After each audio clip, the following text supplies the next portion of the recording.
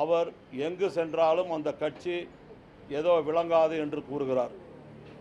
முதல் முறையாக நான் சட்டமன்ற உறுப்பினராக இருக்கின்ற பொழுது ஆயிரத்தி தொள்ளாயிரத்தி தொண்ணூற்றி ஒன்றில் பாட்டாளி மக்கள் கட்சியினுடைய முதல் சட்டமன்ற உறுப்பினராக தேர்ந்தெடுக்கப்பட்டு யானையின் மீது அமர்ந்து சட்டமன்றத்துக்கு வந்தவர் பண்ருட்டி ராமச்சந்திரன் அவர்கள். அந்த தேர்தல் முதல் சட்டமன்ற உறுப்பினர் பாட்டாளி மக்கள் கட்சிக்கு.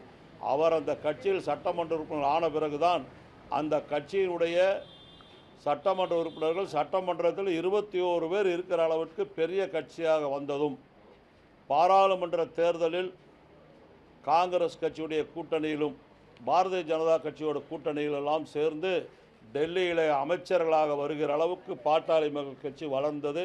அந்த கட்சி பிரகாசமாக இருந்ததற்கு காரணம் அண்ணன் பண்ருட் ராமச்சந்திரன் அவர்கள். தேமுதிகவில் அவர்களோடு இருந்து பணியாற்றுகின்ற பொழுது அந்த கட்சியுடைய அவைத்தலைவராக இருந்து அவர் பணியாற்றுகின்ற பொழுது திமுகவை விட அதிக சட்டமன்ற உறுப்பினர் தேர்ந்தெடுக்கப்பட்டு தமிழக சட்டமன்றத்தில் எதிர்க்கட்சியாக தேமுதிக விளங்கியது அண்ணன் பட்ரூட் ராமச்சந்திரனுடைய அரசியல் ஆலோசனை தான் அப்படிப்பட்ட ஒரு பெருமைக்குரிய அவர் எங்கு கால் வைத்தாலும் அது வளர்ச்சி தான் காரணம் அவர் யாருக்கும் கொத்தடியாக இருந்து பழக்கப்படவில்லை. அதனால் அவர் அம்மா அவரோடு பயணித்தார்கள். அம்மா அவர்கள் அவருக்கு தேர்தல் வாய்ப்பு கொடுத்தார்கள் கட்சியுடைய அமைப்பு செயலாளராக நியமித்தார்கள்.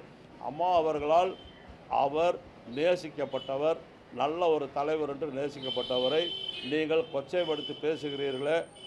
உங்களுக்கு அண்ணன் பண்டூட்டி ராமச்சந்திரனை பற்றி பேசுவதற்கு தகுதி இருக்கிறதா தரம் இருக்கிறதா என்பதை யோசித்து பார்க்க வேண்டும். அவருடைய அரசியல் என்ன? அவர் அரசியலுக்கு வருகின்ற பொழுது நீங்கள் ஆப்டவுசரை போட்டுக்கொண்டு பள்ளிக்கூடத்துக்கு சென்று கொண்டிருப்பீர்கள் அறுபத்தேழு சட்டமன்ற உறுப்பினர் அவர் எழுபத்தி ரெண்டில் அமைச்சர் அவர் நீங்கள் எழுபத்தி ரெண்டில் அதிமுகவும் கிடையாது அரசியல்வாதியும் கிடையாது.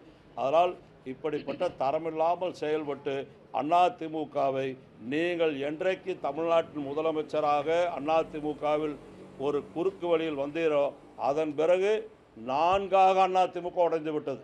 நான்கு அணிகளாக இன்றைக்கு அதிமுக செயல்பட்டு கொண்டிருப்பதற்கு காரணம் எடப்பாடி பழனிசாமியுடைய கட்சி விரோத நடவடிக்கைகள் தான் யாரையும் நேசிக்காமல் யாரோடும் சேர்ந்து பழகாமல் ஒருவரையும் மதிக்காமல் இவர் தன்னிச்சையாக தான் தோன்றித்தனமாக செயல்படுவ காரணத்தால் அதிமுக இன்றைக்கு தமிழ்நாட்டில் மக்கள் பிரச்சனை எடுத்து வைக்காமல் உட்கட்சி சண்டையால் இன்றைக்கு நான்காக பிரிந்து செயல்பட்டு கொண்டிருக்கும் காரணம் எடப்பாடி பழனிசாமி தான்.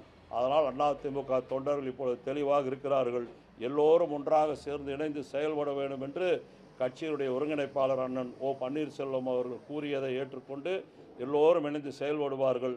இவரோடு இருப்பவர்கள் எல்லாம் இந்த கொடநாடு வழக்கினுடைய தீர்ப்பு வருகின்ற பொழுது அதனுடைய குற்றவாளி யார் என்று மக்களுக்கு தெரிகின்ற பொழுது விரட்டி அடிப்பார்கள். அதிமுக ஒன்றாக இணையும் ஒரே கட்சியாக செயல்படும் அண்ணன் ஓபிஎஸ் இந்த கட்சிக்கு தொடர்ந்து தலைமை தாங்கி செயல்படுத்துவார்கள் என்பதனை தெரிவித்துக் கொள்கிறோம். தொடர்ந்து மூத்த தலைவர்களை கட்சி தலைவர்களை இழிவாக பேசுவதை எடப்பாடி பழனிசாமி அவர்களே நீங்கள் நிறுத்தி கொள்ள வேண்டும். இல்லாவிட்டால் உங்களுடைய ஆரம்ப கட்டத்தில் நீங்கள் கட்சிக்கு வருவதற்கு முன்பு செய்த தவறுகளிலிருந்து இதுவரை நீங்கள் செய்திருக்கிற தவறுகளை பட்டியல் போட்டு சொல்ல வேண்டியது வரும்.